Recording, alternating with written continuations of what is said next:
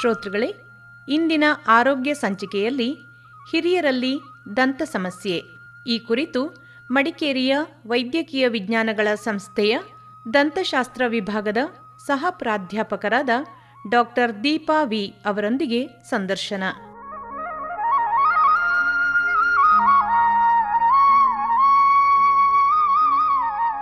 ಕೆಳುಗರೆ, ಆರೋಗ್ಯ ಕಾರ್ಯಕ್ರಮಕ್ಕೆ ತಮಗೆಲ್ಲ ಸ್ವಾಗತ. ಇಂದಿನ ಈ ಕಾರ್ಯಕ್ರಮದಲ್ಲಿ ಹಿರಿಯ ನಾಗರಿಕರಲ್ಲಿ ದಂತ ಸಮಸ್ಯೆ ಕುರಿತು ಮಡಿಕೇರಿಯ ಕೊಡಗು ವೈದ್ಯಕೀಯ ವಿಜ್ಞಾನಗಳ ಸಂಸ್ಥೆಯ ದಂತಶಾಸ್ತ್ರ ವಿಭಾಗದ ಸಹ ಪ್ರಾಧ್ಯಾಪಕರಾಗಿರುವ ಡಾಕ್ಟರ್ ದೀಪಾ ವಿ ಅವರನ್ನ ಮಾತನಾಡಿಸೋಣ. ದಂತ ಸಮಸ್ಯೆ ಸಾಮಾನ್ಯವಾಗಿ ಹಿರಿಯರಲ್ಲಿ ಕಾಡುವುದು ಸಹಜ. ನಮಗೆ ವಯಸ್ಸಾಗ್ತಾ ಇದ್ದಂತೆ ಇತರೆ ಆರೋಗ್ಯವನ್ನು ಕಾಪಾಡಿಕೊಳ್ಳೋದ್ರಲ್ಲಿ ತೋರುವಂಥ ಕಾಳಜಿ ಬಹುಶಃ ಹಲ್ಲಿನ ಬಗ್ಗೆ ಅಷ್ಟು ಬೀರೋಲ್ಲ ಅಂತ ಅನ್ಸುತ್ತೆ. ಹಾಗಾಗಿ ಈ ಬಗ್ಗೆ ನಾವೆಷ್ಟು ಕಾಳಜಿ ವಹಿಸಬೇಕು ಎಂಬುದೇ ಇಂದಿನ ಕಾರ್ಯಕ್ರಮದ ವಿಷಯ. ಈ ಬಗ್ಗೆ ಡಾಕ್ಟರ್ ಈಗ ನಮ್ಮ ಜೊತೆಗಿದ್ದಾರೆ. ಅವರು ಏನು ಹೇಳ್ತಾರೆ ಕೇಳೋಣ. ನಮಸ್ಕಾರ ಡಾಕ್ಟ್ರೆ. ನಮಸ್ಕಾರ ಸರ್. ಕಾರ್ಯಕ್ರಮಕ್ಕೆ ಸ್ವಾಗತ ತಮಗೆ. Thank you. ಡಾಕ್ಟ್ರೆ ಮೊದಲಿಗೆ ಹೇಳಿ ಬಾಯಿ ದೇಹದಲ್ಲಿ ಪ್ರಮುಖವಾದಂಥ ಅಂಗ ಆಹಾರ ಸೇವನೆ ಮತ್ತು ಮಾತು ಇವೆರಡರಲ್ಲೂ ಕೂಡ ಬಹಳ ಮಹತ್ವ ಇರುವಂಥದ್ದು ಬಾಯಿಯ ಪ್ರಧಾನವಾದಂಥ ಕೆಲಸ ಕೂಡ ಅದು. ನಾವು ಆರೋಗ್ಯದ ಬಗ್ಗೆ ಮಾತಾಡ್ತಾ ಇರೋದ್ರಿಂದ ಬಾಯಿ ಬಗ್ಗೆ ಒಂದಿಷ್ಟು ಮಾತನಾಡೋಣ. ಹಾಗೆಯೇ ಮುಖ್ಯವಾಗಿ ನಾವು ವಯಸ್ಸಾದವರಲ್ಲಿ ಕಾಣಿಸ್ಕೊಳ್ಳುವಂಥ ಈ ಬಾಯಿಯ ಸಮಸ್ಯೆಗಳ ಬಗ್ಗೆ ಒಂದಿಷ್ಟು ಮಾಹಿತಿ ಕೊಡಿ. ಬಾಯಿಯ ಆರೋಗ್ಯವು ನಮ್ಮ ಒಟ್ಟಾರೆ ಆರೋಗ್ಯವನ್ನು ಪ್ರತಿಬಿಂಬಿಸುತ್ತದೆ. ಹೊಳೆಯುವ ಆರೋಗ್ಯವಂತ ಹಲ್ಲುಗಳು ಮುಖದ ಅಂದವನ್ನು ಹೆಚ್ಚಿಸುತ್ತದೆ. ಪೌಷ್ಟಿಕಾಂಶ ಆಹಾರವನ್ನು ಸೇವನೆ ಮಾಡುವಾಗ ಜೀರ್ಣಕ್ರಿಯೆಗೆ ಹಾಗೂ ಸ್ಪಷ್ಟವಾಗಿ ಮಾತನಾಡಲು ಹಲ್ಲು ಸಹಾಯವಾಗುತ್ತದೆ. ನಮ್ಮ ದೇಶದಲ್ಲಿ ಜನಸಂಖ್ಯೆ ಒಂದು ಶತಕೋಟಿ ಇದ್ದು ಅರವತ್ತು ವರ್ಷಕ್ಕಿಂತ ಮೇಲ್ಪಟ್ಟ ಜನಸಂಖ್ಯೆ ಏಳು ಪಾಯಿಂಟ್ ಆರು ಪರ್ಸೆಂಟ್ ಅಂದರೆ ಎಪ್ಪತ್ತಾರು ದಶಲಕ್ಷ ವೃದ್ಧರಿದ್ದಾರೆ. ಇವರ ಬಾಯಿಯ ಆರೋಗ್ಯದ ಬಗ್ಗೆ ನಾವು ಹೆಚ್ಚು ಕಾಳಜಿ ವಹಿಸಬೇಕು. ಹಿರಿಯ ನಾಗರಿಕರಲ್ಲಿ ಸಾಮಾನ್ಯವಾಗಿ ಕಂಡುಬರುವಂತಹ ಸಮಸ್ಯೆಗಳೆಂದರೆ ಲೋಳೆ ಹಲ್ಲು ಜಿಂಜಾವೈಟಿಸ್ ಮತ್ತು ಪೆರಡಾಂಟೈಟಿಸ್, ಪರಿದಂತ ಅಂತ ಹೇಳ್ತೀವಿ. ಇದು ವಸಡಿನ ಸಮಸ್ಯೆ. ಇದರ ಲಕ್ಷಣಗಳೆಂದರೆ ನಮ್ಮ ವಸಡು ನಸು ಗುಲಾಬಿ ಬಣ್ಣದಲ್ಲಿರುತ್ತದೆ.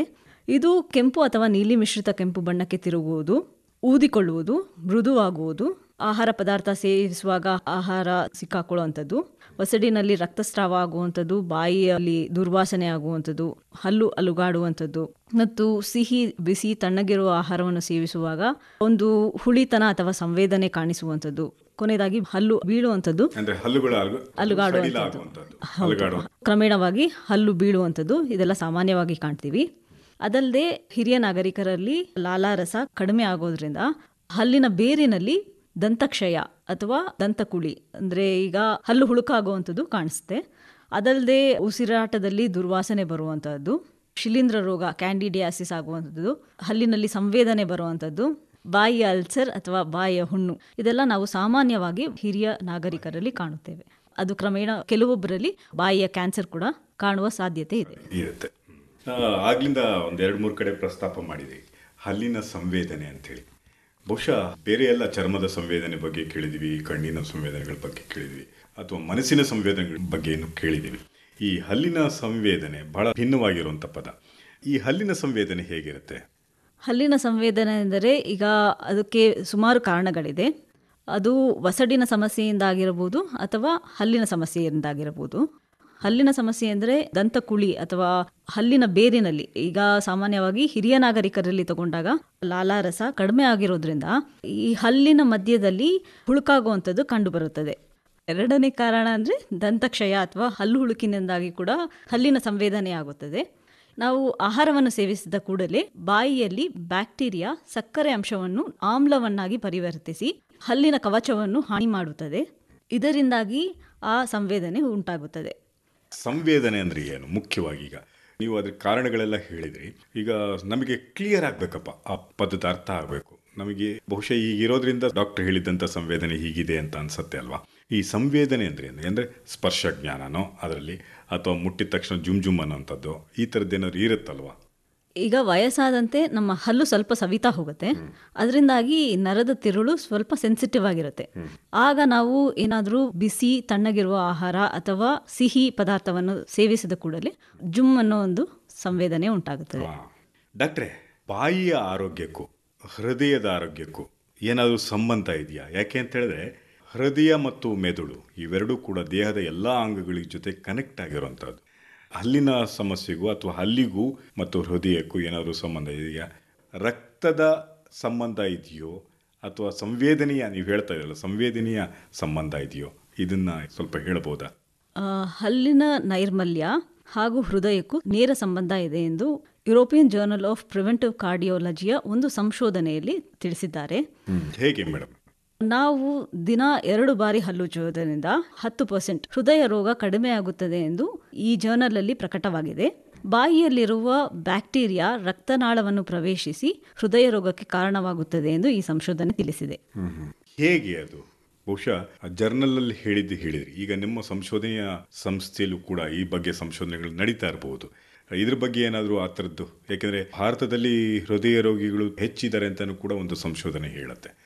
ಹಾಗಾಗಿ ಇದು ನೇರ ಸಂಬಂಧ ಇರೋದ್ರಿಂದ ಆತಂಕಕ್ಕೆ ಈಡಾಗುವಂಥ ಸಾಧ್ಯತೆಗಳು ಜಾಸ್ತಿ ಇರ್ತವೆ. ಬಹುಶಃ ಈ ಥರದ್ದು ಹೃದಯ ಬೇನೆಗೂ ಕೂಡ ಸಮಸ್ಯೆ ಆಗಬಹುದು ಅನ್ನೋಂಥದ್ದನ್ನು ಹೇಳುವಾಗ ನಾವು ತಾರ್ಕಿಕವಾದಂಥ ಒಂದು ಉದಾಹರಣೆಗಳನ್ನ ಕೊಡಬೇಕಾಗತ್ತೆ. ಸಾಧ್ಯತೆ ಇದೆಯಾ ನಿಮ್ಮ ಶಾಸ್ತ್ರೀಯ ವಿಭಾಗದಲ್ಲಿ? ಈ ಥರದ್ದೆಲ್ಲ ಆಲೋಚನೆಗಳು ನಡೆದಿದೆಯಾ? ಹೌದು. ಈಗ ದಂತಪಾಚಿ ದಂತಮಲ ಇದನ್ನ ನಾವು ಸಮಯಕ್ಕೆ ಸರಿಯಾಗಿ ಶುದ್ಧಗೊಳಿಸದಿದ್ದಲ್ಲಿ ಈ ಬ್ಯಾಕ್ಟೀರಿಯಾ ರಕ್ತನಾಳವನ್ನು ಪ್ರವೇಶಿಸಿ ಇದರಿಂದ ಹೃದಯ ರೋಗಕ್ಕೆ ಕಾರಣವಾಗುತ್ತದೆ ಎಂದು ನಾವು ತಿಳಿದಿದ್ದೇವೆ. ಅದರಿಂದಾಗಿ ನಾವು ಸತತವಾಗಿ ಹಲ್ಲನ್ನು ಸ್ವಚ್ಛವಾಗಿ ಇಟ್ಟುಕೊಳ್ಳಬೇಕು. ಈಗ ಸಾಮಾನ್ಯವಾಗಿ ನಾನು ಆಗಲೇ ಹೇಳದಾಗೆ ಹೃದಯ ರೋಗಿಗಳು ಜಾಸ್ತಿ ನಮ್ಮ ದೇಶದಲ್ಲಿ ಕಾಣಸಿಗ್ತಾರೆ ಅಂತ ಹೇಳಿದ್ರು. ಬಹುಶಃ ನಮ್ಮ ಒತ್ತಡದ ಬದುಕು ಕೂಡ ಅದಕ್ಕೆ ಕಾರಣ ಆಗಿರ್ಬೋದು. ಈ ಹೃದಯ ರೋಗದಿಂದ ಬಳಲ್ತಾ ಇರೋವಂಥವ್ರು ಸಾಮಾನ್ಯವಾಗಿ ಒಂದು ಸರಿ ದಂತ ಪರೀಕ್ಷೆ ಮಾಡಿಸ್ಕೊಳ್ಳೋದು ಒಳ್ಳೆಯದು ಅಂತ ಅನಿಸುತ್ತೆ ಅಂತ ನೀವು ಹೇಳ್ತಾ ರೀತಿಲಿ ಗೊತ್ತಾಗ್ತಾ ಇದೆ. ಹಾಗೆ ಹೃದಯ ರೋಗಿಗಳು ನಿಮ್ಮಲ್ಲಿ ಚಿಕಿತ್ಸೆಗೆ ಬಂದಲ್ಲಿ ದಂತ ಪರೀಕ್ಷೆನ ಯಾವ ಥರ ಮಾಡ್ತೀರಿ? ಹೇಗೆ ಮಾಡ್ತೀರಿ? ಯಾವುದೇ ವಯಸ್ಸಾದಂತಹ ವ್ಯಕ್ತಿ ನಮ್ಮಲ್ಲಿ ಬಂದಾಗ ನಾವು ರಕ್ತದ ಒತ್ತಡವನ್ನು ಪರೀಕ್ಷೆ ಮಾಡ್ತೀವಿ ಮತ್ತು ಅವರು ಸೇವಿಸುವಂತಹ ಔಷಧಿಯ ಪಟ್ಟಿಯನ್ನು ತಿಳಿದುಕೊಳ್ತೀವಿ ಅವರು ರಕ್ತ ಹೆಪ್ಪುಗಟ್ಟದೆ ಇರೋದಕ್ಕೆ ಅಂತ ಬಳಸುವಂತಹ ಇಕೋಸ್ಪ್ರಿನ್, ಆಸ್ಪಿರಿನ್, ಕ್ಲೋಪಿಡಾಗ್ರಿಲ್ ಮುಂತಾದ ಔಷಧಿಗಳನ್ನು ಬಳಸ್ತಾರೆ. ಆ ಔಷಧಿಗಳ ಪ್ರಮಾಣವನ್ನು ತಿಳ್ಕೊಳ್ತೀವಿ. ಈಗ ಆಸ್ಪಿರಿನ್ ತಗೊಂಡ್ರೆ ಅದು ಸೆವೆಂಟಿ ಫೈವ್ ಮೈಕ್ರೋಗ್ರಾಮ್ಸ್ ಮತ್ತು ಒನ್ ಫಿಫ್ಟಿ ಮೈಕ್ರೋಗ್ರಾಮ್ಸ್ ಇರುತ್ತೆ. ಈಗ ಸೆವೆಂಟಿ ಫೈವ್ ಮೈಕ್ರೋಗ್ರಾಮ್ಸ್ ಇದೆ ಅಂತ ತಿಳಿದಾಗ ಕೆಲವೊಂದು ಪರೀಕ್ಷೆಗಳನ್ನು ಮಾಡಿಸ್ತೀವಿ. Prothrombin time plasma thromboplastin time I N R ಮುಂತಾದ ಪರೀಕ್ಷೆಗಳನ್ನ ಮಾಡಿಸ್ತೀವಿ. ಅದು ನಾರ್ಮಲ್ ಲಿಮಿಟ್ಸಲ್ಲಿದ್ದರೆ ಅಂದರೆ prothrombin time fourteen to fifteen seconds I N R two point ಫೈವ್ಗಿಂತ ಕಡಿಮೆ ಇದ್ದಲ್ಲಿ ಅಂತಹ ವ್ಯಕ್ತಿಗಳನ್ನು ಸೇಫ್ ಅಂತ ಕನ್ಸಿಡರ್ ಮಾಡಿ ನಾವು ಚಿಕಿತ್ಸೆಗೆ ಒಳಪಡಿಸ್ತೀವಿ. ಇನ್ ಕೇಸ್ ಅವರು ನೂರ ಐವತ್ತು ಮೈಕ್ರೋಗ್ರಾಮ್ ಆಸ್ಪಿರಿನ್ ತಗೊಳ್ತಿದ್ದಲ್ಲಿ ಕಾರ್ಡಿಯಾಲಜಿಸ್ಟ್ಗೆ ರೆಫರ್ ಮಾಡಿ ಕನ್ಸೆಂಟ್ ಪಡೆದು ಮತ್ತೆ ಚಿಕಿತ್ಸೆಯನ್ನು ಕೊಡ್ತೀವಿ. ಅಂದರೆ ಈಗ ನೀವು ಹೃದಯ ಕಾಯಿಲೆ ಇದ್ದವರು ಒಂದು ಸರಿ ದಂತ ವಿಭಾಗನೂ ಕೂಡ ಸಂಪರ್ಕಿಸಬೇಕಾಗತ್ತೆ ಅಂತೇಳಿ ನೀವು ಹೇಳ್ತಾ ಇದ್ರಿ. ಬಹುಶಃ ಈ ಹೃದಯಕ್ಕೂ ಮತ್ತು ದಂತಕ್ಕೂ ಇರುವಂಥ ನೇರವಾದಂಥ ಸಂಪರ್ಕದ ಬಗ್ಗೆ ನೀವು ಹೇಳಿದ್ರಿ. ಬಹುಶಃ ನಮ್ಮ ಎಲ್ಲ ಆರೋಗ್ಯದ ಸಮಸ್ಯೆನೂ ಕೂಡ ಬಾಯಿಯ ಮೂಲ ಆಗಿರೋದ್ರಿಂದ ಬಹುಶಃ ಹೃದಯಕ್ಕೂ ಇದೇ ಮೂಲ ಆಗಿರ್ಬೋದು ಅಂತ ನಾನು ಅನಿಸುತ್ತೆ. ಇನ್ನೊಂದು ಬಹಳ ಮುಖ್ಯವಾದ ಯಾವುದು ಅಂತ ಹೇಳಿದ್ರೆ, ಹೃದಯ ರೋಗಿಗಳನ್ನ ಭಾರತದಲ್ಲಿ ಅತಿ ಹೆಚ್ಚಾಗಿ ನಾವು ಕಾಣ್ತೇವೆ. ಹಾಗೇನೆ ಸಕ್ಕರೆ ಕಾಯಿಲೆ ಅಥವಾ ಮಧುಮೇಹ ರೋಗಿಗಳನ್ನು ಕೂಡ ಅತಿ ಹೆಚ್ಚಾಗಿ ಕಾಣ್ತೇವೆ. ಭಾರತವನ್ನ ಮಧುಮೇಹಿಗಳ ಸ್ವರ್ಗ ಅಂತಲೇ ಕರೀತಾರೆ. ಹಾಗಾಗಿ ಪ್ರತಿಯೊಂದು ಹತ್ತು ಜನರಲ್ಲಿ ಆರು ಅಥವಾ ಏಳು ಜನ ಸಕ್ಕರೆ ಕಾಯಿಲೆಗೆ ರೋಗಿಗಳು ನಮಗೆ ಸಿಗ್ತಾ ಹೋಗ್ತಾರೆ. ಹೀಗಿದ್ದಾಗ ಸಕ್ಕರೆ ಕಾಯಿಲೆಯ ರೋಗಿಗಳು ಈ ಹಲ್ಲನ್ನು ಕೀಳಿಸ್ಬೋದೇ ಅಥವಾ ಕೀಳಿಸುವಾಗ ಮುನ್ನೆಚ್ಚರಿಕೆ ಕ್ರಮಗಳನ್ನ ಯಾವ ಥರ ತಗೊಳ್ಬೇಕು? ಯಾಕೆಂದರೆ ವಯಸ್ಸಾದವರಲ್ಲೇ ಈ ಮಧುಮೇಹ ಅಥವಾ ಸಕ್ಕರೆ ಕಾಯಿಲೆ ತುಂಬ ಕಾಡಿಸುವಂಥ ಒಂದು ರೋಗ ಅದು. ಹಾಗಿದ್ದಾಗ ಯಾವ ಥರ ಮುನ್ನೆಚ್ಚರಿಕೆ ತಗೊಳ್ಬೇಕಾಗತ್ತೆ ನಾವು? ಮಧುಮೇಹ ರೋಗಿಗಳಲ್ಲಿ ವಸಡಿನ ಗಟ್ಟಿತನ ಹೋಗಿ ಪದೇ ಪದೇ ಹಲ್ಲುಗಳ ಬುಡದಲ್ಲಿ ಕೀವು ಉಂಟಾಗಬಹುದು. ಇದು ಹಾರ್ಮೋನ್ ಏರಿಳಿತದಿಂದ ಆಗುತ್ತದೆ ಮತ್ತು ಅವರ ರೋಗ ನಿರೋಧಕ ಶಕ್ತಿ ಕಡಿಮೆಯಾಗಿರೋದ್ರಿಂದ. ಮಧುಮೇಹಿಗಳಲ್ಲಿ ಈ ಲಾಲಾರಸ ಕಡಿಮೆಯಾಗಿರುತ್ತದೆ ಮತ್ತು ಬರ್ನಿಂಗ್ ಮೌತ್ ಸಿಂಡ್ರೋಮ್ ಬಾಯಿ ಉರಿಯಾಗುವಂಥದ್ದು ಹಲ್ಲಿನ ಬುಡದಲ್ಲಿ ಹೆಚ್ಚು ದಂತಕುಳಿ ಆಗುವಂಥದ್ದು ದಂತಕೀಟ ಆಗುವಂಥದ್ದು ರುಚಿ ಕಡಿಮೆ ಆಗುವಂಥದ್ದು ಇದೆಲ್ಲ ಕಂಡುಬರುತ್ತೆ. ಮತ್ತು ಬಾಯಿಯಲ್ಲಿ ಒಂದು ವಾಸನೆ ಡಯಾಬಿಟಿಕ್ ಕೀಟೋಸಿಡೋಸಿಸ್ ಅಲ್ಲಿ ಒಂದು ದುರ್ವಾಸನೆ ಬರುವಂತದ್ದು ಕಾಣ್ತೇವೆ. ಇಂತಹ ವ್ಯಕ್ತಿಗಳಲ್ಲಿ ಅವರು ನಮ್ಮನ್ನು ಭೇಟಿಯಾದಾಗ fasting blood sugar post prandial blood sugar ಮತ್ತು glycated haemoglobin H P A one ಸಿಯನ್ನು ಪರೀಕ್ಷೆ ಮಾಡಿಸ್ತೀವಿ. ಈ ಪರೀಕ್ಷೆಯಲ್ಲಿ H P A one C ಐದರಿಂದ ಏಳರ ಒಳಗಡೆ ಇದ್ದರೆ ಅಂದರೆ ನೂರ ಐವತ್ತರಿಂದ ನೂರ ಅರವತ್ತು ಮಿಲಿಗ್ರಾಮ್ ಪರ್ ಡೆಸಿಲೀಟರ್ ಇದ್ದಾಗ ಅವರನ್ನು ನಾವು ಶಸ್ತ್ರಚಿಕಿತ್ಸೆಗೆ ಒಳಪಡಿಸ್ತೀವಿ. ಅವರಲ್ಲಿ ಹಲ್ಲು ತೆಗೆಯೋದು ಅಂತಹ ಅಪಾಯಕಾರಿ ಅಲ್ಲ. ಸಾಮಾನ್ಯ ಈಗ ಅತಿ ಹೆಚ್ಚಿದ್ದಾಗ ನೀವು ಏನು ಮಾಡ್ತೀರಿ? ಕಂಟ್ರೋಲ್ ಮಾಡೋದಕ್ಕೆ ಏನಾದರೂ ಮತ್ತೆ ಟ್ರೀಟ್ಮೆಂಟ್ ಕೊಟ್ಟು ನಂತರ ಹಲ್ಲು ತೆಗೆಯುವಂತ ಒಂದು ಪ್ರಕ್ರಿಯೆ ಮಾಡ್ತೀರಾ? ಹೇಗೆ? ಹೌದು. ಅತಿ ಹೆಚ್ಚು ಇದ್ದಲ್ಲಿ ಫಿಸಿಷಿಯನ್ ಕನ್ಸೆಂಟ್ ತಗೊಂಡು ಅವರು ಟ್ರೀಟ್ಮೆಂಟ್ ಕೊಟ್ಟ ನಂತರ ನಾವು ಪಾಲಿಸ್ತೀವಿ. ಪಾಲಿಸ್ತೀವಿ. ಈ ಮಧುಮೇಹದಿಂದ ಬಳಲುತ್ತಿರುವಂತಹ ರೋಗಿಗಳು ನಮ್ಮನ್ನು ಸಂದರ್ಶಿಸಿದಾಗ ನಾವು ಜನರಲಿ ಬೆಳಗ್ಗೆನೆ ಅಪಾಯಿಂಟ್ಮೆಂಟ್ ಕೊಡ್ತೀವಿ. ಒತ್ತಡವಿಲ್ಲದೆ ಇರುವಂತಹ ಸಮಯದಲ್ಲಿ. ಅವರು ಆಹಾರವನ್ನು ಸೇವಿಸಿ ನಮ್ಮನ್ನು ಸಂಪರ್ಕಿಸಬೇಕು. ಅವರು ಮಧುಮೇಹಕ್ಕೆಂದು ತಗೊಳ್ಳುವಂತಹ ಔಷಧಿಯನ್ನು ಸೇವಿಸಿ ಆ ದಿನ ಬರಬೇಕು. ಇನ್ ಕೇಸ್ ಅವರು ಇನ್ಸುಲಿನ್ ತಗೊಳ್ತಾ ಇದ್ರೆ ಆ ಇನ್ಸುಲಿನ್ನ ತಗೊಂಡು ಬರಬೇಕು. ಪ್ರೊಫೈಲಾಕ್ಟಿಕ್ ಆಂಟಿಬಯೋಟಿಕ್ಸ್ನ ನಾವು ಕೊಟ್ಟು ನಂತರ ಹಲ್ಲನ್ನು ತೆಗಿತೀವಿ. ಅವರು ಧೂಮಪಾನ, ಮದ್ಯಪಾನವನ್ನು ತ್ಯಜಿಸಬೇಕು. ಇದೆಲ್ಲ ಪಾಲನೆ ಮಾಡಿ ಹಲ್ಲು ತೆಗೆಸ್ಕೊಂಡ್ರೆ ಯಾವುದೇ ಒಂದು ತೊಂದರೆ ಆಗೋದಿಲ್ಲ. ಓಕೆ. ಡಾಕ್ಟ್ರೇ, ಈಗ ಸಾಮಾನ್ಯ ಇವತ್ತಿನ ಪರಿಸ್ಥಿತಿ ಬಗ್ಗೆ ನಾವು ಯೋಚನೆ ಮಾಡಿದ್ರೆ ಜಗತ್ತನ್ನೇ ಕಾಡ್ತಾ ಇರುವಂಥ, ಜಗತ್ತನ್ನೇ ತಲ್ಲಣಗೊಳಿಸ್ತಾ ಇರುವಂಥದ್ದು ನಾವು ಈಗಾಗಲೇ ನೋಡ್ತಾ ಇದ್ದೀವಿ. ನಾವು ಕೂಡ ಒಳಗಾಗಿದ್ದೀವಿ. ಕೋವಿಡ್ ಹತ್ತೊಂಬತ್ತು. ಇದರಿಂದಾಗಿ ಅನೇಕ ಆರೋಗ್ಯ ಸಮಸ್ಯೆಗಳು ನಮ್ಮನ್ನು ಕಾಡ್ತಾ ಇದ್ದಾವೆ. ಬೇರೆ ಬೇರೆ ರೀತಿಯಾದಂಥ ಆರೋಗ್ಯ ಸಮಸ್ಯೆಗಳು ಕೂಡ ಹುಟ್ಕೋತಾ ಇದ್ದಾವೆ. ಮತ್ತು ನಮಗೆ ದಿನನಿತ್ಯದ ಆರೋಗ್ಯ ಸಮಸ್ಯೆಗಳು ಕೂಡ ಕಾರಣ ಆಗ್ತವೆ. ಬಹುಶಃ ಹಿರಿಯರಲ್ಲಿ ಇದರಿಂದ ಆದಂಥ ಅನೇಕ ಸಮಸ್ಯೆಗಳು ನಾವೀಗಾಗಲೇ ನೋಡ್ತಾ ಇದ್ದೀವಿ. ಮಧುಮೇಹಿಯಾಗಿದ್ದರೆ ಹಿರಿಯರು, ಅವರು ವಾಕ್ ಮಾಡೋಕ್ಕಾಗದೇ ಇರುವಂಥ ಪರಿಸ್ಥಿತಿನೂ ಕೂಡ ನಾವು ಎದುರಿಸಿದ್ದೀವಿ. ಹಾಗೆಯೇ ಬೇರೆ ಬೇರೆ ಅವರಿಗೆ ಔಷಧಿ ಸಿಗದೇ ಇರುವಂಥ ಸಮಸ್ಯೆಗಳಿದ್ದಾವೆ. ಹಾಗೆಯೇ ಹಿರಿಯರಲ್ಲಿ ಸಾಮಾನ್ಯ ಸಾಕಷ್ಟು ಸಮಸ್ಯೆಗಳು ಈ ಕೋವಿಡ್ ಕಾರಣಕ್ಕಾಗಿ ನಾವು ಎದುರಿಸಿದ್ದೀವಿ. ಹಿರಿಯರು ಹೆಚ್ಚಾಗಿ ಎದುರಿಸಿದ್ದಾರೆ ಅದನ್ನು. ಕೋವಿಡ್ ಜಗತ್ತನ್ನೇ ತಲ್ಲಣಗೊಳಿಸ್ತಾರಂಥ ಈ ಸಂದರ್ಭದಲ್ಲಿ. ಇದರಿಂದ ಏನಾದರೂ ಬಾಯಿಯ ಮೇಲೆ ಪರಿಣಾಮ ಆಗುವಂಥ ಸಾಧ್ಯತೆಗಳಿದೆಯಾ? ಯಾವ ಥರ ಆಗ್ಬೋದು? ಹೌದು. ದೀರ್ಘಕಾಲವಾಗಿ ಆಸ್ಪತ್ರೆಯಲ್ಲಿ ದಾಖಲಾದಂಥ ಹಿರಿಯ ನಾಗರಿಕರು ಮತ್ತು ಐ ಸಿ ಯು ಅಲ್ಲಿರುವಂಥವರು ಆಮ್ಲಜನಕದ ಬೆಂಬಲ ಅಂದರೆ ವೆಂಟಿಲೇಟರ್ನಲ್ಲಿದ್ದ ಮಧುಮೇಹ ಇತರ ಕಾಯಿಲೆಗೆ ಔಷಧಿಗಳನ್ನು ತಗೊಳ್ಳುವಂತಹ ಹಿರಿಯರಲ್ಲಿ ಮ್ಯೂಕಾರ್ ಮೈಕಾಸಿಸ್ ಎಂಬ ಶಿಲೀಂಧ್ರ ರೋಗ. ಇದು ಒಂದು ಫಂಗಲ್ ಇನ್ಫೆಕ್ಷನ್. ಇದು ಕಂಡು ಬರ್ತಾ ಇದೆ. ಇದಕ್ಕೆ ಸಮಯಕ್ಕೆ ಸರಿಯಾಗಿ ನಾವು ಚಿಕಿತ್ಸೆಯನ್ನು ಪಡೆಯದೇ ಇದ್ದಲ್ಲಿ ಅದು ತುಂಬ ಮಾರಕವಾಗಬಹುದು. ಈ ಮ್ಯುಕಾರ್ಮೈಕಾಸಿಸಲ್ಲಿ ಅಥವಾ ಕೋವಿಡ್ ನೈನ್ಟೀನ್ ಸಮಸ್ಯೆಯಿಂದ ಬಳಲುತ್ತಿರುವಂತಹ ಜನರಲ್ಲಿ ನಾವು ಕೆಲವೊಂದು ಲಕ್ಷಣಗಳನ್ನು ಕಂಡು ಬಂದಿದ್ದೇವೆ ಬಾಯಿಯಲ್ಲಿ ಕಂಡುಬರುವಂತಹ ಲಕ್ಷಣಗಳು. ಅದು ಕಡಿಮೆ ರುಚಿಯಾಗುವಂಥದ್ದು ಬಾಯಿಯಿಂದ ರುಚಿ ಕಳೆದುಕೊಳ್ಳುವುದು. ವಾಸನೆಯ ನಷ್ಟ. ಉಸಿರು ಕಟ್ಟಿಕೊಳ್ಳುವುದು. ತೀವ್ರ ಹಲ್ಲು ನೋವು ಬರುವಂಥದ್ದು ಮುಖದ ಊತ. ಕಣ್ಣುಗಳ ಕೆಳಭಾಗದಲ್ಲಿ ಊತ ಆಗುವಂಥದ್ದು ಜ್ವರ ಮತ್ತು ತಲೆನೋವು. ಅದಲ್ಲದೆ ಬಾಯಿ ನಾಲಗೆ ಒಸಡುಗಳಲ್ಲಿ ಬಣ್ಣ ಬದಲಾವಣೆ, ಕಪ್ಪು ಬಣ್ಣಕ್ಕೆ ತಿರುಗುವಂತಹದ್ದು. ಒಸಡುಗಳಲ್ಲಿ ಉರಿಯೂತ, ಕೀವು ಸೋರುವುದು, ಅನೇಕ ಸೈನಸ್ ಇನ್ಫೆಕ್ಷನ್ ಆಗುವಂತಹದ್ದು. ಹಲ್ಲುಗಳು ಹಠಾತ್ತನೆ ಅಲುಗಾಡುವಂತಹದ್ದು. ಬಾಯಿ ಹುಣ್ಣು ಕೂಡ ಕೆಲವೊಂದು ಜನರಲ್ಲಿ ನಾವು ಕಂಡುತ್ತೇವೆ. ಅಂತೂ ಕೋವಿಡ್ ಸಂದರ್ಭದಲ್ಲೂ ಕೂಡ ಇದರ ಬಗ್ಗೆ ಕಾಳಜಿ ವಹಿಸಬೇಕು ಅನ್ನೋದು ಯಾಕೆ ಅಂತ ಹೇಳಿದ್ರೆ ಎಲ್ಲಕ್ಕೂ ಮೂಲ ಬಾಯಿಯೇ ಆಗಿರೋದ್ರಿಂದ. ಬಾಯಿಯ ಮೂಲಕನೇ ನಮ್ಮ ದೇಹದ ಆರೋಗ್ಯವನ್ನು ಕಾಪಾಡ್ಕೊಳ್ಳೋದಕ್ಕೆ ಸಾಧ್ಯತೆ ಇರೋದ್ರಿಂದ ಈ ಬಗ್ಗೆ ಎಚ್ಚರ ವಹಿಸೋದು ಕೂಡ ಬಹಳ ಮುಖ್ಯ ಅಂತ ಹೇಳ್ತೀರಿ. ಹೌದು ಸರ್ ನೀವು ಹೇಳಿದ್ದು ಸರಿ. ನಾವು ಕೋವಿಡ್ನಿಂದ ಬಳಲುತ್ತಿದ್ದ ಸಮಯದಲ್ಲೂ ಎರಡು ಬಾರಿ ಸತತವಾಗಿ ಬ್ರಷ್ ಮಾಡಲೇಬೇಕು. ಮೌತ್ ವಾಷಸ್ನ ಯೂಸ್ ಮಾಡಬೇಕು. ಮೌತ್ ವಾಶ್ ದೊರಕದಿದ್ದಲ್ಲಿ ಉಪ್ಪಿನ ನೀರಿನಲ್ಲಿ ಬಾಯಿಯನ್ನು ಮುಕ್ಕಳಿಸುವುದರಿಂದ ಕೂಡ ಅದು ಸಹಾಯ ಆಗುತ್ತೆ. ಸೋಂಕಿತರು ತಮ್ಮ ಬ್ರಷ್ ಅನ್ನ ಕೋವಿಡ್ ನೆಗೆಟಿವ್ ಆದ ತಕ್ಷಣ ಬದಲಾಯಿಸಬೇಕು. ಆ ಬ್ರಷ್ನ ಬೇರೆಯವರು ಬಳಸುತ್ತಿರುವ ಜಾಗದಲ್ಲೇ ಇಟ್ಟುಕೊಳ್ಳಬಾರದು. ಎಷ್ಟು ಅಂತರ ಕಾಪಾಡ್ಕೊಳ್ಳೋಕೆ ಸಾಧ್ಯ ಆಗುತ್ತೋ ಅಷ್ಟು ಅಂತರವನ್ನು ಕಾಪಾಡ್ಕೊಳ್ಬಹುದು. ಬೇಕಾಗತ್ತೆ ಅನ್ನೋದು ಕೂಡ ನಿರ್ದೇಶನ ಕೊಡ್ತಿದ್ದೀರಿ ಡಾಕ್ಟರ್ ಈಗ ಬಹಳ ಮುಖ್ಯವಾಗಿ ಬಾಯಿಯ ಸಮಸ್ಯೆಗಳ ಬಗ್ಗೆ ಮಾತಾಡುವಾಗ ಬಹಳ ಮುಖ್ಯವಾಗಿ ಸಾಮಾನ್ಯ ಜನರಲ್ಲಿ ಕಾಡುವಂಥದ್ದು ಎಲ್ರಿಗೂ ಕಾಡುವಂಥದ್ದು ಈ ಬಾಯಿಯ ಹುಣ್ಣು. ಬಾಯಿಯ ಅಲ್ಸರ್ ಅಂತ ಕರೀತಾರೆ. ಹಾಗೆಯೇ ಈ ಬಾಯಿಯ ಕ್ಯಾನ್ಸರ್, ಈ ಬಾಯಿಯ ಹುಣ್ಣು ಅಥವಾ ಬಾಯಿಯ ಅಲ್ಸರ್ ಮತ್ತು ಈ ಬಾಯಿಯ ಕ್ಯಾನ್ಸರ್ ಇವು ಎರಡರ ನಡುವೆ ಇರುವಂಥ ವ್ಯತ್ಯಾಸಗಳ ಬಗ್ಗೆ ಏನಾದರೂ ಹೇಳ್ಬೋದಾ? ಮೂವತ್ತು ಪರ್ಸೆಂಟ್ ಜನರಲ್ಲಿ ಸಾಮಾನ್ಯವಾಗಿ ನಾವು ಬಾಯಿ ಹುಣ್ಣು ಕಾಣ್ತೀವಿ. ಈ ಬಾಯಿ ಹುಣ್ಣು ಹಲವಾರು ಕಾರಣಗಳಿಂದ ಇರುತ್ತೆ. ಒತ್ತಡದಿಂದ ಇರ್ಬೋದು ವೈಟಮಿನ್ ಡೆಫಿಷಿಯನ್ಸಿಯಿಂದ ಇರ್ಬೋದು. ಈಗ ಸಾಮಾನ್ಯವಾದ ಹುಣ್ಣು ಒಂದು ಮಿಲಿಮೀಟರಿಂದ ಒಂದು ಸೆಂಟಿಮೀಟರ್ ಒಳಗಡೆ ಇರುತ್ತೆ. ಇದು ಮಧ್ಯದಲ್ಲಿ ಹಳದಿ ಬಣ್ಣ ಇದ್ದು ಸುತ್ತಲೂ ಕೆಂಪು ಬಣ್ಣ ಇರುತ್ತೆ. ಈ ಗಾಯ ಅಥವಾ ಈ ಹುಣ್ಣು ಒಂದು ವಾರದಲ್ಲಿ ಚಿಕ್ಕದಾಗಿ ವಾಸಿಯಾಗುತ್ತೆ.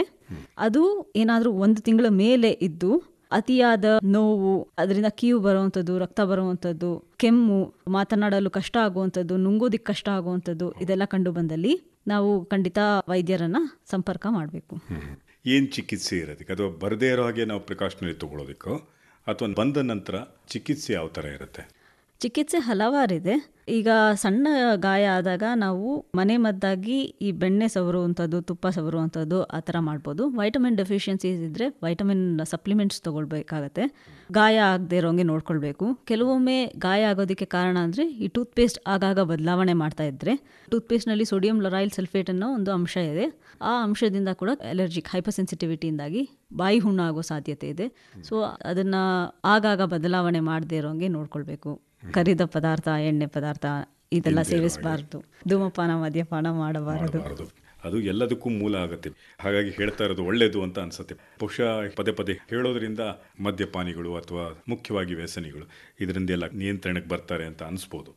ಡಾಕ್ಟರ್ ಈಗ ವಯಸ್ಸಾದ್ರ ಬಗ್ಗೆ ಮಾತಾಡ್ತಾ ಇರೋದ್ರಿಂದ ಬಹಳ ಮುಖ್ಯವಾಗಿ ವಯಸ್ಸಾಗ್ತಾ ಇದ್ದಂಗೆ ಹಲ್ಲುಗಳು ಸವಿಯುತ್ತೆ ಅಥವಾ ಹಲ್ಲು ಉದುರುತ್ತೆ ಅಥವಾ ಹಲ್ಲು ತೆಗೆಸ್ಕೊಳ್ತಾರೆ. ಇದೆಲ್ಲ ಆದಮೇಲೆ ಕೃತಕ ದಂತ ಪಂಕ್ತಿಗಳನ್ನ ಅಳವಡಿಸ್ಕೋತಾರೆ. ಈ ಕೃತಕ ದಂತ ಪಂಕ್ತಿಗಳನ್ನ ಅಳವಡಿಸೋರಿಗೆ ಯಾವ ಥರ ಸಲಹೆಗಳನ್ನ ಕೊಡ್ತೀರಿ? ಅದನ್ನು ಹೇಗೆ ಮೇಂಟೈನ್ ಮಾಡಬೇಕು? ಹೇಗೆ ಅದನ್ನು ಸುರಕ್ಷಿತವಾಗಿ ಇಟ್ಕೊಳ್ಬೇಕು ಅನ್ನೋದನ್ನು ಹೇಗೆ ಹೇಳ್ತೀರಿ? ಈ ದಂತ ಪಂಕ್ತಿ ಹಲವಾರು ಹಲ್ಲು ಕಳೆದುಕೊಂಡವರಲ್ಲೂ ಬಳಸ್ತೀವಿ. ಅಂದರೆ ಪೂರ್ತಿ ಎಲ್ಲ ಹಲ್ಲು ತೆಗೆಸಿದವರು ಕೂಡ ಕೃತಕ ದಂತ ಪಂಕ್ತಿಯನ್ನು ಕೊಡ್ತೀವಿ. ಅಥವಾ ಕೆಲವು ಹಲ್ಲು ತೆಗೆಸಿದ ನಂತರನೂ ಅವ್ರಿಗೂ ಕೊಡ್ತೀವಿ. ನಾವು ಹಲ್ಲು ಕಳೆದುಕೊಂಡವರಲ್ಲಿ, ಹಲ್ಲನ್ನ ಕಟ್ಟಿಸದಿದ್ದಲ್ಲಿ ಅಕ್ಕಪಕ್ಕದ ಮತ್ತು ವಿರುದ್ಧ ದಿಕ್ಕಿನ ಹಲ್ಲು ಅಡ್ಡಾದಿಡ್ಡಿಯಾಗಿ ಚಲಿಸಿ, ವಸಡಿನ ರೋಗಕ್ಕೆ ಮತ್ತು ಹಲ್ಲಿನ ಕುಳಿಗೆ ಇದಕ್ಕೆಲ್ಲ ಕಾರಣ ಆಗುತ್ತೆ. ಅದರಿಂದ ನಾವು ಹಲ್ಲು ತೆಗೆಸಿದ ಕೂಡಲೇ ಯಾವಾಗಲೂ ಹಲ್ಲನ್ನು ಕಟ್ಟಿಸಲೇಬೇಕು. ಈಗ ನಾವು ಹಲ್ಲು ಕಟ್ಟಿಸಿದ ನಂತರ ದಂತಪಂಕ್ತಿಯನ್ನು ಹೇಗೆ ರಕ್ಷಿಸಬೇಕು ಅನ್ನೋದನ್ನು ಹೇಳ್ತೀನಿ. ನಾವು ದಂತಪಂಕ್ತಿಯನ್ನು ತಗೊಂಡ ಕೂಡಲೇ ಮೊದಲನೇದಾಗಿ ಮಾತನಾಡಲು ಅಭ್ಯಾಸ ಆಗುವವರಿಗೆ ಸ್ವಲ್ಪ ಕಷ್ಟ ಅನಿಸುತ್ತೆ. ಅದರಿಂದ ಅದನ್ನು ತ್ಯಜಿಸಬಾರ್ದು. ಈ ನ್ಯೂಸ್ ಪೇಪರ್ ಮ್ಯಾಗ್ಝಿನ್ ಮುಂತಾದವುಗಳನ್ನ ಓದ್ತಾ ಇದ್ದೆ ಕ್ರಮೇಣ ಅದು ಅಭ್ಯಾಸ ಆಗಿ ಅದಕ್ಕೆ ಹೊಂದ್ಕೊಳ್ತೀವಿ. ಅದು ದಂತಪಂಕ್ತಿ ಚೂಪಾಗಿದ್ದಲ್ಲಿ ಅದನ್ನು ವೈದ್ಯರಿಗೆ ತಿಳಿಸಿ ಅಲ್ಸರ್ ಆಗದೆ ಇರೋಂಗೆ ನೋಡ್ಕೊಳ್ಬೇಕು. ಮೃದುವಾದಂತಹ ಆಹಾರವನ್ನು ಎರಡು ಬದಿಯಲ್ಲಿ ಸೇವಿಸಿ ನಾವು ಅದನ್ನು ಅಭ್ಯಾಸ ಮಾಡ್ಕೊಳ್ಬೇಕು ದಂತಪಂಕ್ತಿಯನ್ನು. ಹಣ್ಣು ಇತರ ವಸ್ತುಗಳನ್ನು ಸೇವಿಸುವಾಗ ಪೂರ್ತಿ ಸೇವಿಸದೆ ಅದನ್ನು ಕತ್ತರಿಸಿ ಭಾಗವಾಗಿ ಮಾಡಿ ಅದನ್ನು ಸೇವಿಸಿದಾಗ ಅದು ಕಂಫರ್ಟಬಲ್ ಆಗಿರುತ್ತೆ. ಅಂದರೆ ಇಡಿಯಾಗಿ ಹಣ್ಣು ಸೇವನೆ ಮಾಡೋದಕ್ಕಿಂತ ಕತ್ತರಿಸಿ ಸಣ್ಣ ತುಂಡುಗಳನ್ನಾಗಿ ಮಾಡಿಕೊಂಡು ಸೇವಿಸೋದು ಉತ್ತಮ ಅಂತ ಹಾ ಹೇಳ್ತಾರೆ ತುಂಡು ಮಾಡಿ ಸೇವಿಸಿದಾಗ ಅದು ಇನ್ನೂ ಕಂಫರ್ಟಬಲ್ ಆಗಿರುತ್ತೆ. ರಾತ್ರಿಯಲ್ಲಿ ಮಲಗುವಾಗ ದಂತಪಂಕ್ತಿಯನ್ನು ತೆಗೆದಿಡಲೇಬೇಕು ನೀರಿನಲ್ಲಿ. ಒಂದು ಡಬ್ಬಿಯಲ್ಲಿ ನೀರಿಟ್ಟು ಅದರಲ್ಲಿ ಇಡೋದು ಉತ್ತಮ. ತೆಗೆದ ನಂತರ ಅದನ್ನು ಸೋಪ್ ಮತ್ತು ಟೂತ್ ಬ್ರಷಲ್ಲಿ ಕ್ಲೀನ್ ಮಾಡಿ ಅಥವಾ ಡಾಕ್ಟರ್ಸ್ ಸಜೆಸ್ಟ್ ಮಾಡಿರುವಂತಹ ಆಂಟಿಫಂಗಲ್ ಡೆಂಚರ್ ಕ್ಲೀನಿಂಗ್ ಟ್ಯಾಬ್ಲೆಟ್ಸಲ್ಲಿ ರಾತ್ರಿ ಇಡೀ ಇಟ್ಟು ಮತ್ತೆ ಶುದ್ಧವಾಗಿರುವಂತಹ ದಂತಪಂಕ್ತಿಯನ್ನು ಬೆಳಗ್ಗೆ ಯೂಸ್ ಮಾಡೋದು ಒಳ್ಳೆಯದು ದಂತಪಂಕ್ತಿಯನ್ನು ತೆಗೆದ ನಂತರ ವಸಡನ್ನು ಒಂದು ಮಸಾಜ್ ಮಾಡಬೇಕು. ಇದರಿಂದ ರಕ್ತ ಪರಿಚಲನೆಯಾಗಿ ವಸಡಿನ ರೋಗಕ್ಕೆ ಕಾರಣ ಆಗೋಲ್ಲ. ದಂತಪಂಕ್ತಿ ಬಳಸುತ್ತಿದ್ದಲ್ಲಿ ಹೆಚ್ಚು ನೀರು ಸೇವಿಸಬೇಕು ಆದರೆ ನೀರನ್ನು ಕಚ್ಚಿ ಕುಡಿಯಬೇಕು ಮೇಲೆ ತೆಗೆದು ಕುಡಿಯೋಂಗಿಲ್ಲ. ಮತ್ತು ಸೀನುವಾಗ ಸ್ವಲ್ಪ ಜಾಗರೂಕತೆ ವಹಿಸಬೇಕು ಕೆಳಗಡೆ ಬೀಳಿಸ್ಕೊಳ್ದೇ ಇರೋಂಗೆ ನೋಡ್ಕೊಳ್ಬೇಕು. ಹಾಗೂ ದಂತಪಂಕ್ತಿಗಳನ್ನು ಮೂರರಿಂದ ನಾಲ್ಕು ವರ್ಷಕ್ಕೊಮ್ಮೆ ಬದಲಾಯಿಸ್ತಾ ಇರಬೇಕು. ಬಹಳ ಒಳ್ಳೆಯದು ಈಗ ಒಂದು ಇಡಿಯಾಗಿ ಹಲ್ಲುಗಳನ್ನ ಸಟ್ಟ ಹಾಕಿಸ್ಕೊಳ್ಳೋದ್ರ ಬಗ್ಗೆ ಹೇಳಿದ್ರಿ. ಈಗ ಒಂದೊಂದೇ ಹಲ್ಲುಗಳು ಕೆಲವೊಂದು ಹಲ್ಲುಗಳನ್ನ ಸಾಮಾನ್ಯವಾಗಿ ತೆಗಿತಾರೆ. ಹುಳುಕಲ್ಲಾಗುತ್ತೋ ಅಥವಾ ಹಲ್ಲು ಅಲ್ಲಾಡಿದಾಗ ತೆಗೆಸುವಂಥದ್ದು ಈ ಥರದ್ದೆಲ್ಲ ಇದ್ದಾಗ ಹಲ್ಲನ್ನು ಮತ್ತೆ ಕೂರಿಸ್ಬೇಕಾಗತ್ತೆ. ಭಾಳಷ್ಟು ವೈವಿಧ್ಯಗಳಿದ್ದಾವೆ ಹಲ್ಲುಗಳು ಕೂರಿಸೋದ್ರಲ್ಲಿ. ಯಾವ ವೈವಿಧ್ಯತೆ ಇದೆ? ಮತ್ತು ಅದನ್ನು ಮೇಂಟೈನ್ ಮಾಡೋದು ಹೇಗೆ? ಅಥವಾ ಅದು ಹೆಚ್ಚು ದಿನ ಬಾಳಿಕೆ ಬರುತ್ತಾ? ಎಲ್ಲಿವರೆಗೆ ಅದನ್ನು ಬಳಸ್ಕೊಳ್ಬೋದು? ಇದ್ರ ಬಗ್ಗೆ ಒಂದಿಷ್ಟು ಡೀಟೇಲಾಗಿ ಹೇಳಿ ಮೇಡಮ್. ಹಲ್ಲು ತೆಗೆದ ನಂತರ ಕೃತಕ ದಂತ ಜೋಡಣೆ ಮಾಡ್ತೀವಿ. ಅದು ರಿಮೂವಬಲ್ ಡೆಂಚರ್ ಇರುತ್ತೆ ಫಿಕ್ಸ್ ಡೆಂಚರ್ ಇರುತ್ತೆ. ಈಗ ಇಂಪ್ಲಾಂಟ್ಸ್ ಕೂಡ ಅವೈಲಬಲ್ ಇದೆ. ಈ ರಿಮೂವಬಲ್ ಡೆಂಚರ್ಸು ಮತ್ತು ಫಿಕ್ಸ್ ಡೆಂಚರ್ಸ್ ನಾವೀಗ ಡಿಸ್ಕಸ್ ಮಾಡಿದ ಹಾಗೆ ಅದಕ್ಕೆ ಸುಮಾರು ಪ್ರಿಕಾಷನ್ಸ್ ತೊಗೊಂಡು ಅದನ್ನು ನಾವು ನೀಟಾಗಿ ಮೇಂಟೈನ್ ಮಾಡಬೇಕು. ಮೂರರಿಂದ ನಾಲ್ಕು ವರ್ಷಕ್ಕೊಮ್ಮೆ ಅದನ್ನು ಬದಲಾಯಿಸ್ತಾ ಇರಬೇಕು. ಫಿಕ್ಸ್ ಪಾರ್ಷಲ್ ಡೆಂಚರ್ಸಲ್ಲಿ ಡಿಫ್ರೆಂಟ್ ಮೆಟೀರಿಯಲ್ಸ್ ಇದೆ. Metal ceramic porcelain fused to metal ಈ ರೀತಿಯಾದ ದಂತ ಕಿರೀಟ ಅಂತ ಹೇಳ್ತೀವಿ. ಅದು ಅವೈಲಬಲ್ ಇದೆ. ಅದನ್ನು ಬಳಸ್ಕೊಳ್ಬೋದು. ಈಗ ದಂತಗಳಿಗೆ ಕೋಟಿಂಗ್ ಒಂದು ಮಾಡೋಕ್ಕೆ ಸಾಧ್ಯತೆ ಇದೆಯಾ? ಮೇಲಿನ ಕೋಟಿಂಗ್ ಹೋದ ನಂತರ ಮತ್ತೆ ಕೋಟ್ ಮಾಡೋಕ್ಕೆ ಸಾಧ್ಯ ಆಗುತ್ತಾ? ಹಾಂ. ಈಗ ವಯಸ್ಸಾದಂತೆ ಹಲ್ಲಿನ ಒಂದು ಪದರ ಎನಾಮಿಲ್ ಸವೆದು ಒಂದು ಸಂವೇದನೆ ಬರುತ್ತೆ. ಆಗ ಡೆಂಟಲ್ ವಾರ್ನಿಶ್ ಅಂದ್ರೆ ಫ್ಲೋರಿಡೇಟೆಡ್ ವಾರ್ನಿಷ್ನ ಹಲ್ಲು ಮೇಲೆ ಹಚ್ಚೋದ್ರಿಂದ ಆ ಸಂವೇದನೆಯನ್ನು ಕಡಿಮೆ ಮಾಡಬಹುದು ಅದು ಎಷ್ಟು ದಿನಕ್ಕೊಂದ್ಸರಿ ಹೇಗೆ ಮೇಂಟೈನ್ ಮಾಡಬೇಕಾಗತ್ತೆ? ಅದು ಪದೇ ಪದೇ ಹಚ್ಚಬೇಕಾಗತ್ತಾ ಅಥವಾ ದಿನ ಹಚ್ಚಬೇಕಾಗತ್ತಾ ಹೇಗೆ? ಆರು ತಿಂಗಳಿಗೊಮ್ಮೆ ವೈದ್ಯರಲ್ಲಿ ಫ್ಲೋರೈಡ್ ವಾರ್ನಿಶ್ ಹಚ್ಚಿಸ್ಕೋಬೋದು. ಅಥವಾ ನೀವೇ ಫ್ಲೋರಿಡೇಟೆಡ್ ಟೂತ್ ಪೇಸ್ಟ್ನ ಯೂಸ್ ಮಾಡ್ಬೋದು. ಈಗ ಅತಿಯಾದ ಸಂವೇದನೆ ಇದ್ದಲ್ಲಿ ಫ್ಲೋರೈಡ್ ಕಾನ್ಸಂಟ್ರೇಷನ್ ಜಾಸ್ತಿ ಇರುವಂತಹ ಟೂತ್ ಪೇಸ್ಟ್ನ ಅಥವಾ ಮೌತ್ ವಾಶಸ್ನ ನಾವು ದಂತ ವೈದ್ಯರ ಸಲಹೆಯ ಮೇರೆಗೆ ಬಳಸ್ತಾ ಹೋಗ್ಬೋದು. ಈ ಸಂವೇದನೆಯನ್ನು ತಡೆಗಟ್ಟೋದಕ್ಕೆ ನಾವು ಒಂದು ಮೃದುವಾದಂತಹ ಟೂತ್ ಬ್ರಷ್ನ ಬಳಸಬೇಕು. ಬಹಳ ಎಚ್ಚರ ತಗೋಬೇಕಾಗತ್ತೆ ಅಂತ ಅನಿಸುತ್ತೆ ಈ ಥರದ್ದೆಲ್ಲ. ಯಾಕೆಂತ ಹೇಳಿದ್ರೆ, ಈ ಕೋಟಿಂಗ್ ಹೋಗ್ತಾ ಇದ್ದ ಹಾಗೇನೆ ನಮಗೆ ಬಹಳಷ್ಟು ಆ ಸಂವೇದನಾ ನೋವುಗಳು, ಜುಮ್ ಅನ್ನುವಂಥದ್ದು ಅಥವಾ ಆ ಮೂಲಕವಾದಂಥ ಆ ನೋವು ಇದೆಯಲ್ಲ, ಅದು ಬಹುಶಃ ಮೆದುಳಿನ ಒಳಗಡೆ ಸೇರುವಂಥ ನೋವು ಅಂತ ಅನಿಸ್ಬಿಡುತ್ತೆ. ಆ ಮಟ್ಟದ ನೋವು ನಾವು ಅನುಭವಿಸೋದಕ್ಕೆ ಸಾಧ್ಯ ಆಗುತ್ತೆ. ಹಾಗಾಗಿ ಈ ಬಗ್ಗೆ ಎಚ್ಚರ ವಹಿಸೋದು ಒಳ್ಳೆಯದು ಇದಕ್ಕೆ ಪ್ರಿಕಾಷನರಿ ತೊಗೊಳ್ಬೇಕು ಅಂದರೆ ತಡೆಗಟ್ಟೋದಕ್ಕೆ ಏನು ಮಾಡಬೇಕು ಮೇಡಮ್ ಈ ಕೋಟಿಂಗನ್ನು ಹೋಗದೇ ಇರೋ ಹಾಗೆ ತಡೆಗಟ್ಟೋದಕ್ಕೆ ಏನು ಮಾಡ್ಬೋದು? ನಾವೆಲ್ಲರೂ ದಿನಕ್ಕೆ ಎರಡು ಬಾರಿ ಮೃದುವಾದಂತಹ ದಂತಕುಂಚ ಅಥವಾ ಟೂತ್ ಬ್ರಷನ್ನು ಉಪಯೋಗಿಸಬೇಕು. ಹಲ್ಲುಜ್ಜುವಾಗ ಅತಿ ಗಡುಸಾಗಿ ಉಜ್ಜಬಾರದು. ವಿರೂಪವಾದ ಓರೆಯಾದಂತಹ, ಸವೆದು ಹೋದಂತಹ ದಂತಕುಂಜವನ್ನು ನಾವು ಬಳಸಲೇಬಾರದು. ಪ್ರತಿ ಎರಡು ತಿಂಗಳಿಂದ ಮೂರು ತಿಂಗಳಿಗೊಮ್ಮೆ ದಂತಕುಂಜವನ್ನು ಬದಲಾಯಿಸ್ತಾ ಇರಬೇಕು. ಹಿರಿಯ ನಾಗರಿಕರಲ್ಲಿ ಸರ್ಕ್ಯುಲರ್ ಮೋಷನ್ ಅಥವಾ ಬಾಸ್ ಟೆಕ್ನಿಕ್ ಅಂತ ಹೇಳ್ತೀವಿ. ಇದನ್ನು ಅಳವಡಿಸಿಕೊಳ್ಬೇಕು. ಮೇಲಿಂದ ಕೆಳಗಡೆ ಮೆಲ್ಲ ಹಲ್ಲುಜ್ಬೇಕು. ಇಲ್ಲ ಸರ್ಕ್ಯುಲರ್ ಮೋಷನ್ನ ಯೂಸ್ ಮಾಡಬೇಕು. ನಾವು ಮೂರರಿಂದ ನಾಲ್ಕು ನಿಮಿಷಗಳವರೆಗೆ ಮಾತ್ರ ಹಲ್ಲುಜ್ಬೇಕು. ಮೌತ್ ವಾಶ್ ವಾರ್ನಿಷ್ ಇದೆಲ್ಲ ಹೇಳಿದ್ನಲ್ಲ, ಆ ಥರ ಫ್ಲೋರಿಡೇಟೆಡ್ ಟೂತ್ಪೇಸ್ಟ್ನ ಯೂಸ್ ಮಾಡೋದ್ರಿಂದ ಸಂವೇದನೆಯನ್ನು ಕೂಡ ನಾವು ಕಡಿಮೆ ಮಾಡ್ಬೋದು.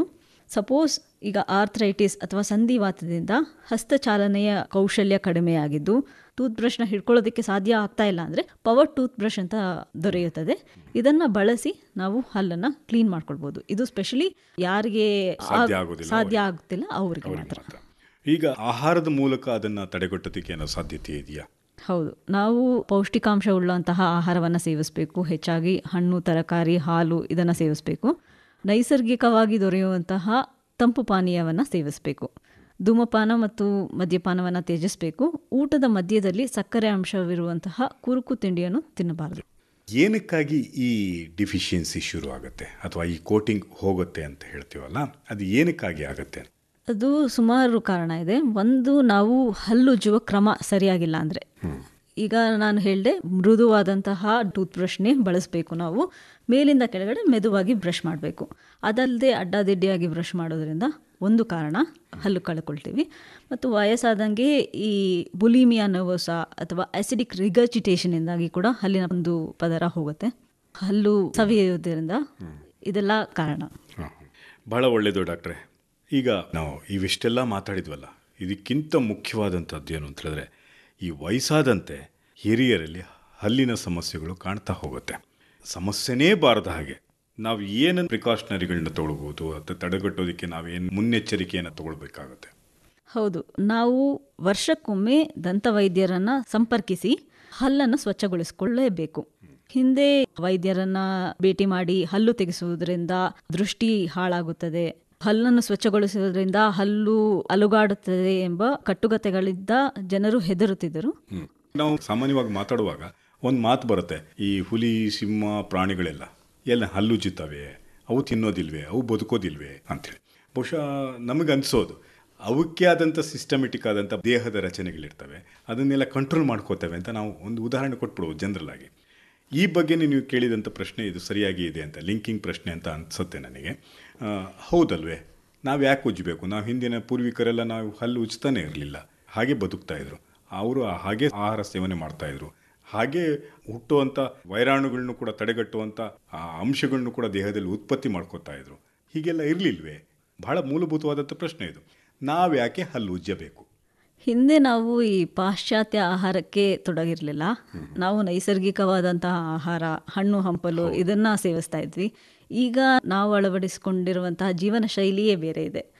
ಸಾಕಷ್ಟು ಎಸಿಡಿಕ್ ಡ್ರಿಂಕ್ಸ್ ತಗೊಳ್ಳೋದು ಸ್ವೀಟ್ಸ್ ಬರ್ಗರ್ಸ್ ಪಿಜ್ಜಾಸ್ ಇವೆಲ್ಲ ಸೇವನೆ ಮಾಡೋದ್ರಿಂದ ನಾವು ಹಲ್ಲು ಉಜ್ಜಲೇಬೇಕು ದಿನಕ್ಕೆ ಎರಡು ಬಾರಿ ಜೀವನ ಶೈಲಿ ಬಹುಶಃ ನಮಗೆಲ್ಲ ಹಾಗೆ ಮಾಡಿದೆ ಅಂತ ಅನ್ಸುತ್ತೆ. ಹೌದು. ಬಹುಶಃ ನಮ್ಮ ಹಿರಿಯರು ಕೂಡ ಬ್ರಷ್ಗಳನ್ನ ಬಳಸ್ತಾ ಇರಲಿಲ್ಲ.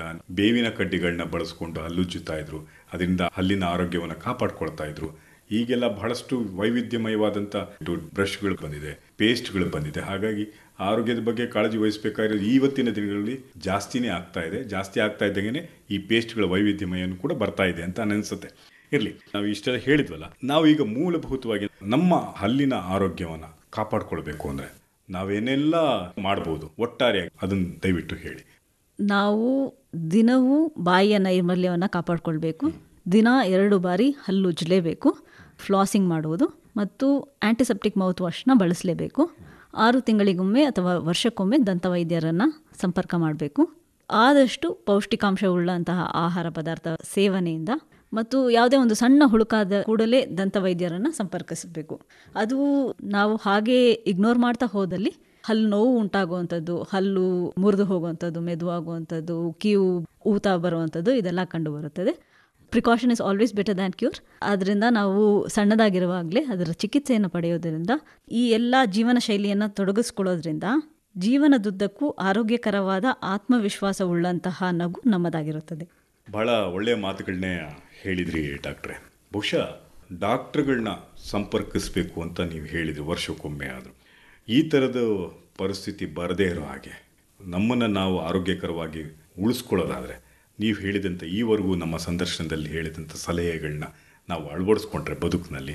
ಬಹುಶಃ ನೀವು ಹೇಳಿದಾಗೆ ಸಂಪರ್ಕ ಒಂದು ವರ್ಷಕ್ಕೊಂದ್ಸರಿ ಮಾಡಬೇಕು, ಡಾಕ್ಟರ್ನ ಸಲಹೆಗಳನ್ನ ಕೇಳಬೇಕು. ಇಷ್ಟೆಲ್ಲ ಸಮಸ್ಯೆಗಳಿಗೆ ಪೂರಕವಾದಂಥ ಔಷಧಿಗಳನ್ನ ನಾವು ತಗೊಳ್ಬೇಕಾಗತ್ತೆ. ಇವೆಲ್ಲವನ್ನು ಬಿಟ್ಟು ಆರೋಗ್ಯಕರವಾಗಿ ಯಾವ ಡಾಕ್ಟರ್ಗಳನ್ನೂ ಕೂಡ ಸಂಪರ್ಕಿಸ್ತಾರೆ ಹಂಗೆ. ಸುಖವಾಗಿ ಬದುಕಿನ ನಿರ್ವಹಣೆಯನ್ನು ನಾವು ಮಾಡಿಕೊಂಡ್ರೆ ಅದೇ ಆರೋಗ್ಯ ಅಂತ ಅನಿಸುತ್ತೆ ನನಗೆ. ಬಹಳ ಒಳ್ಳೆಯದು ಡಾಕ್ಟ್ರೆ. ಕಾರ್ಯಕ್ರಮದಲ್ಲಿ ಭಾಗವಹಿಸಿ ಹಿರಿಯರ ದಂತ ಆರೋಗ್ಯ ಸಮಸ್ಯೆಗಳ ಬಗ್ಗೆ ಸಾಕಷ್ಟು ವಿವರವಾದಂಥ ಮಾಹಿತಿಗಳನ್ನ ನಮಗೆ ತಿಳಿಸ್ಕೊಟ್ಟಿದ್ರಿ. ನಮ್ಮ ಕೇಳುಗರು ನೀವು ಹೇಳಿದಂಥ ಸಲಹೆಗಳನ್ನ ಅಳವಡಿಸ್ಕೋತಾರೆ ಬದುಕಿನಲ್ಲಿ ಅಂತ ಅಂದ್ಕೊಳ್ಳೋಣ, ಆಶಿಸೋಣ. ಕಾರ್ಯಕ್ರಮದಲ್ಲಿ ಭಾಗವಹಿಸಿದ್ದಕ್ಕಾಗಿ ಧನ್ಯವಾದಗಳು. ನಮಸ್ಕಾರ. ನಮಸ್ಕಾರ ಸರ್.